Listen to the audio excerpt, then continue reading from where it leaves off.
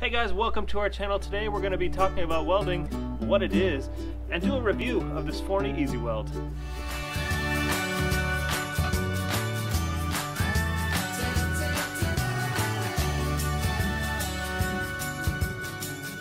Thanks for joining us and welcome to our channel. Here we're going to show you not only how we turned our house into our small family farm, but we're going to show you how and why things work around the house. So I started to weld a while back, as you know from a video I did about a year ago. And I started with this Forney Easy Weld 125C, and it has worked really good for my needs. I just do occasional stuff, fabricating little bits here and there. So when I got started, I was really interested, like, hey, what is this welding and how does it actually work? So let's talk about what welding actually is, how it works, and then we'll do a review of this Forney. So welding, simply put, is the process of putting two metals together. In order to bring those two metals together, we will need to raise the temperature of those metals so they melt together. The easiest way to do this is electricity. Now enter the welder. In general, a welder is going to have a piece of metal that's meltable in a stick form or a gun form with a wire coming out of it, one of the two typically. The welder will ground his system to the metal being welded, and then the meltable metal comes out of either the gun or it's in stick form. And when it comes in contact with the metal that's being welded, it creates an arc when it completes that circuit. The arc is where a bunch of electricity goes right through that small area of those pieces of metal and actually melts the two pieces of metal together along with that meltable metal in that gun or stick form. Then after this process happens, that molten metal actually solidifies, hardens, and starts to cool and forms a solid bond of metal where it's no longer two pieces of metal, but it's one piece that's melted together, and that's what a weld is. In that process, you do sometimes get what's called slag, which is on top of that weld. This slag comes from remnants of uh, the process of, of welding, especially if you're using flux core welding. There is another important piece to talk about here, and that's shielding gases. Shielding gases are needed where the welding is actually taking place. Now, I'm not talking about like the room, but I'm just talking about the small area where you're actually touching metal to metal. These gases can range from CO2 to argon to oxygen. And what they actually do is help the metal to melt by creating a little safe space for it to create that arc and uh, become molten and join those pieces of metal together. what we call that in welding is, is pooling, where you get that pool of metal together and that gas helps protect it. If you don't have that gas, you can get porous welds where there's holes in it, and you can also get a lot more spatter than you normally would. So the shielding gases are super important.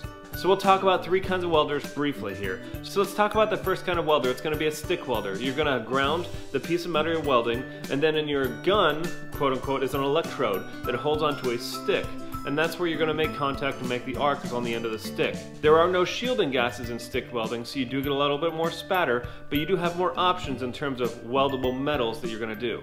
The second kind of welding is actually MIG welding, and that's where you use a solid core, so solid metal strand, to go through a welding gun, and it also can include those shielding gases we talked about to create that safe space to uh, pool the molten metal. The third kind of welder is a flux core welding. So instead of a solid core metal that's running through that gun, it's actually going to be a tube of metal and on the inside it's a flux resin. That flux resin does a couple of things, but mainly what it's going to do is when it melts and creates that arc, it's going to vaporize that flux and create shielding gases in that area. It tends to be more portable so you can do a lot of welding around without having to lug around gas tanks and stuff like that.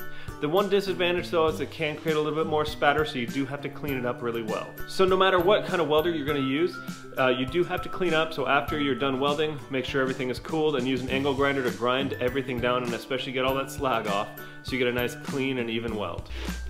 So with that being said, let's talk about this guy. It's a Forney Easy Weld 125C. It is a flux core welder. When you get it, it will come with a few options that you can choose to get or not get. I chose to get them. Comes with a helmet, a couple sets of gloves. These are welding gloves that are super helpful. Um, and then it comes with this unit right here. Let's talk about what uh, comes off of it here. So first of all, you got your power plug, pretty simple. This is a plus that it does go onto 110 and it doesn't require 240. So uh, I know most people won't have a 240 or 220 plug readily available to them, so this will make it really accessible to use.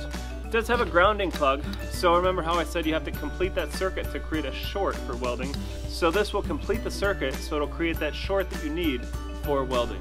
And then you have the gun here, it's got a couple of things. It's got the trigger here to advance the wire, and it also has a little uh, hanging rod here so you can hang it on something if you need to. I, I don't know why you use it though. It does have the tip here. You can remove this and replace it if you need to. You just unscrew it and then you can pull it off, replace it as necessary, and then it just screws right back on. So this is it. It's pretty simple to use but it uh, works really good. So all you got here for adjustments is your wire speed from a zero to a 10. Uh, I'm pretty sure that doesn't correspond to anything. It's just a graduated scale. It's got a temperature alarm here, an on off switch, and then a thin plate and sheet metal switch for thickness of metal. I did kind of wish it had more of a selection instead of just thin plate or sheet metal, but this will work for my purposes. The other part to this is opening the sides. All you gotta do is slide this piece down and then it'll open up. Pretty simple in here. There's not a whole lot to it and not a whole lot that you will have to touch or do with it. It's just got the wire here on a spool. Pretty simple. It'll show you exactly how to hook it up. There's pictures up here. You can't screw this up. Very simple. So after it's hooked up, you should never need to open this up unless you have to replace the wire. There's also a circuit reset here in case you do get an overcurrent.